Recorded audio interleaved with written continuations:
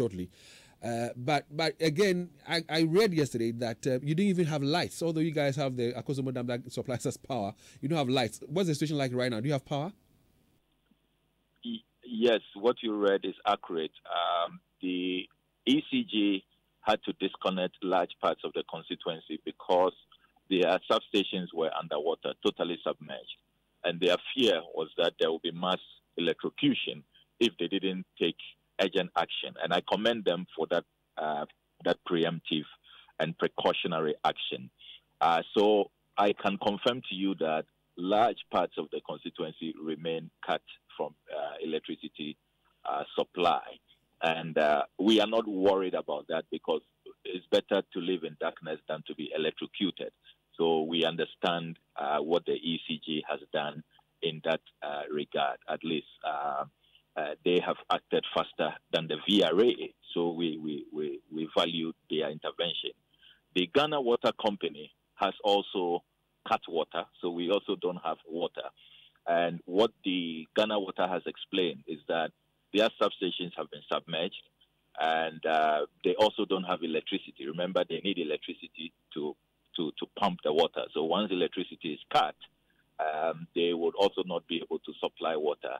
They also want to assess the integrity levels of their water systems, whether uh, the contaminated water has uh, has has has has uh, uh gone to con- contaminate their own uh, water reservoirs. So again, that is uh, a precautionary measure which we appreciate. So uh, what we are doing now is to bring in tankers. We are also receiving a lot of donations. Yesterday, Voltic was with us, and I want to commend them. Uh, they are offering us 7,000 bags of sachet water, and uh, that will go a long way uh, to uh, help my people survive, whilst the Ghana Water Company Limited assesses the integrity of their water systems and whether they can begin to restore water to us. So, mm. uh, yes, you are right.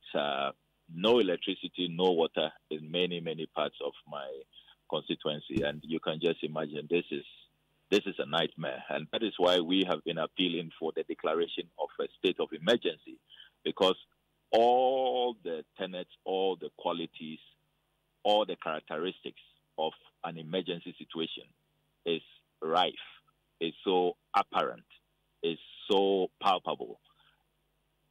As ranking member on the Foreign Affairs Committee, I can confirm to you that when I have reached out to our international partners, all of them have said that we will really appreciate it if your government will announce a, a, state of emergency. If they declare a state of emergency, then it triggers our governments back home to rush in with support, with humanitarian assistance. And I, I really do not understand why the government is not doing that.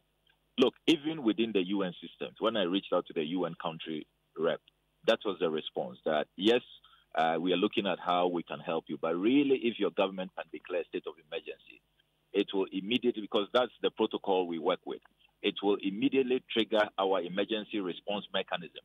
And then we can move in with the much needed assistance. So, I mean, for uh, a country which is struggling economically, which is under an IMF bailout, and uh, you have all of these uh, in the system. We know everybody is owed. We know you owe contractors, you owe school feeding caterers, you owe pensioner bondholders.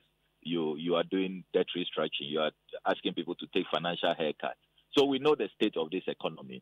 So uh, not that we want to put pressure on the government in terms of our needs, even though um, uh, it is their responsibility, and even though we also acknowledge that when we were approving the 2023 budget, we approved a line item for contingency, as we do every year, about 600 million. And one wonders where those contingency funds are, because it is for emergencies like this. That is why you approve a contingency It's not for National Cathedral, as they were doing the last time, and we had to stop them from abusing the contingency fund. So, Sammy, so, keep pushing, so, so keep pushing, am, keep pushing. I am, I am uh, uh, concerned that this declaration of a state of emergency is delaying uh, because looking at the state of this economy, it will really have been helpful uh, with that declaration, uh, you will see our bilateral and multilateral partners uh, rush in and they will have offered us the needed assistance that uh, we need. So I mean, all I say is continue pushing, continue pushing. Government would, would you know declare the state of emergency and all that. But again, I spoke to the queen mother of uh, Mepe not long ago. I'm so sure she's on the line. My concern is under